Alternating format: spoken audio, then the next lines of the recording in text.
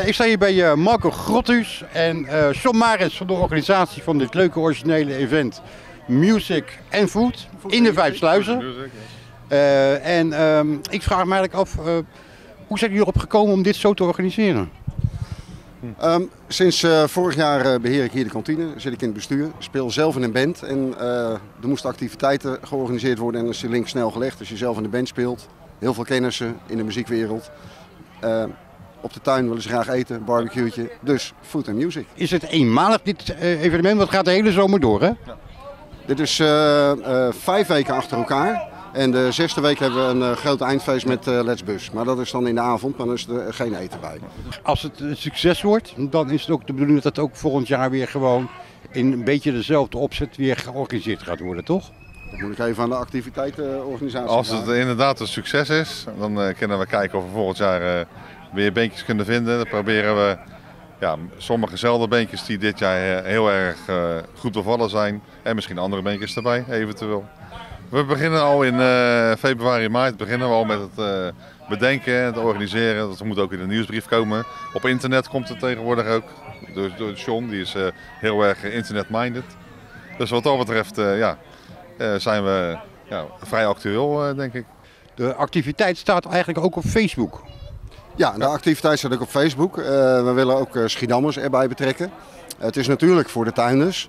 eh, maar het is ook leuk als mensen uit Schiedam eens kennis maken met deze volkstuinvereniging. Met, met dit gebied, met, met, met, met de tuintjes. Dat, dat vinden we ook leuk. Dat is sowieso natuurlijk leuk. En zeker als je het op Facebook doet. Mensen kunnen ook via Facebook een hoop regelen, ook reserveren voor dit evenement. Ja, dat klopt. Eh, het is de bedoeling dat mensen inderdaad reserveren. En eh, op Facebook eh, doen we daar een oproep toe, eh, ook in de groep van de tuinders. En dan staat er een link naar onze webpagina en eh, daar wordt dan gereserveerd. En vandaag verwachten we rond de 40 man. Maar stel dat nu in één keer de lucht openbreekt en het gaat heel hard regenen. Dan is het natuurlijk ook het voordeel van de vijf sluizen. Dat je gewoon lekker naar binnen kan gaan, toch? Zeker, zeker gaan we naar binnen zitten met z'n allen en dan gaan we daar gezellig verder door eh, met eh, het feest vieren, zeg maar.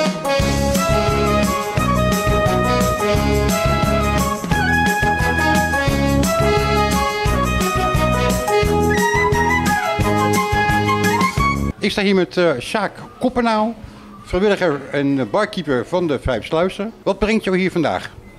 Ja, vandaag de activiteitenmiddag. eh, want we hebben hier, dat is natuurlijk nu eh, de rommelmarkt was hier geweest. En vanavond hebben we ook eten wat georganiseerd wordt door de vereniging. Dat eh, vinden de mensen altijd wel eh, rendabel. Ja, het is eh, eten en muziek, hè? music en food, hè? Ja, zo heet dat thema.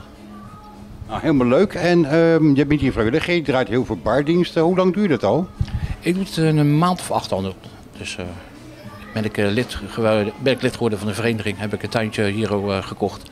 En toen werd gevraagd door Inge en John of ik uh, bardies wilde draaien. En dat doe ik met plezier.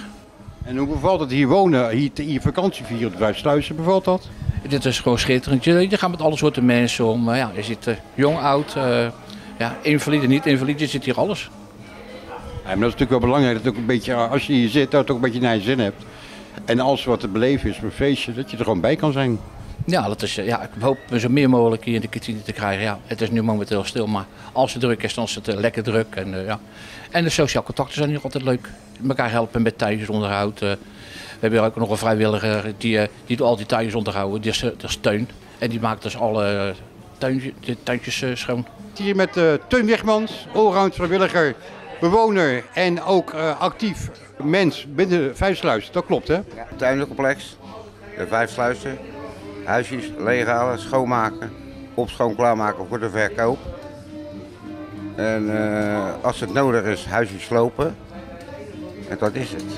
Dus eigenlijk als ze jou eh, dingen nodig hebben, zoals het schoonmaken, opleveren en dat soort dingen, het slopen van huisjes, dan eh, weten ze jou te vinden. Kennen ze mijn altijd bellen, maar ook met name van John Greven. Van John Greven, dat is mijn werkcoördinator voor het hele complex. Dus dat houdt in, dat, dat is mijn baas. Het is mijn baas niet, maar ik beschouw het als mijn baas. Snap je? Ja, dus als wij eh, zeggen, jullie moeten een huisje weg, hè, dan, eh, dan, dan neemt hij contact met, eh, met jou op en dan komt het helemaal in orde. Want hoe lang, hoe lang zit, zit, je- zit je al hier op de Vijf Sluizen? Een jaar of acht. En bevalt het? Heel erg goed.